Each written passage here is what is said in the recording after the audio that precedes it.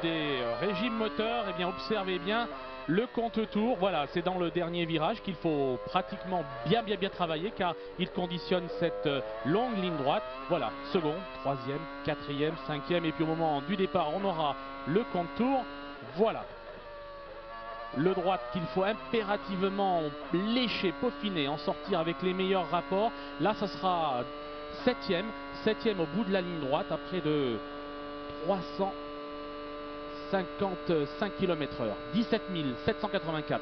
17 797. Voilà, 17 797 en 7 vitesse pour euh, Montoya avec des Michelin qui collent à la route, une efficacité diabolique au changement de direction et une superbe motricité. Puis de nouvelles fois en 7 vitesse terminale, un peu moins rapide que sur la ligne droite précédente, 17 317.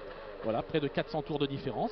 Une chicane très difficile avec de grosses bordures qu'il faut bien gérer aussi. Et on repart, second, troisième, quatrième, cinquième, sixième, septième, vitesse terminale. Là, une nouvelle fois, 340 et quelques kilomètres heure.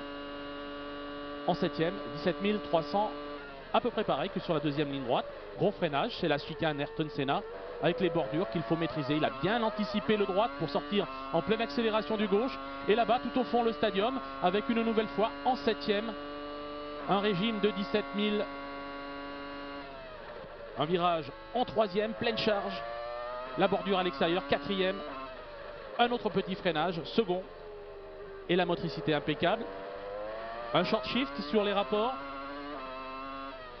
Et la portion ici où il fait la différence tout à l'heure par rapport à Ralph Schumacher. C'est ici qu'il a fait ses 19 millièmes de différence. C'est ici qu'il a gagné la pole position. Bravo, Juan Pablo Montoya.